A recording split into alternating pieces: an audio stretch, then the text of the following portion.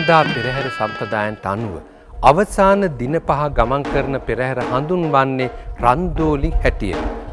මෙහිදීත් අවසාන දිනේ ගමන් කරන පෙරහැර මහරන්දෝලියේ හැටියට හඳුන්වනවා. රන්දෝලි කියලා කිව්වේ සෙන්කටගල රාජධානි සමයේ අගබිසවුන් වහන්සේ.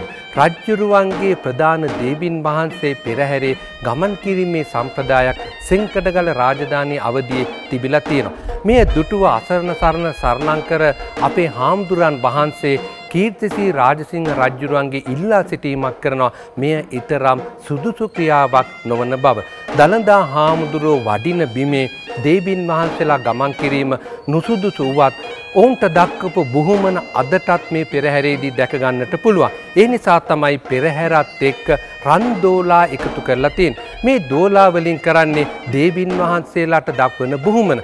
මෙහිදී අද මේ කටයුත්ත සිද්ධ වෙන්නේ ඒ ඒ දේවාලවල පිළිවෙතක් ඇටියට. පෙරහැර අවසානයේට මේ රන්දෝලා රැගෙන යනවා.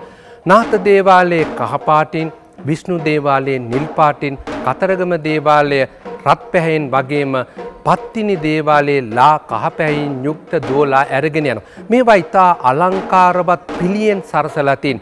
මේ පිළී සරසගෙන දෝලා ඇරගෙන යනකොට අදටත් අපේ වනිතාවට දක්කපු ගෞරවේ සහ අභිමානය කොයි වගේද කියලා පෙරහැර නරබන්නන්ට දැකගන්නට පුළුවන්. අපේ මනුදම් යහගුණදම් මතු පරපුරටත් සන්නිවේදනය කරමු. ශ්‍රී ලංකා ටෙලිකොම් වෙතින් සදහම් පණිවිඩයක්.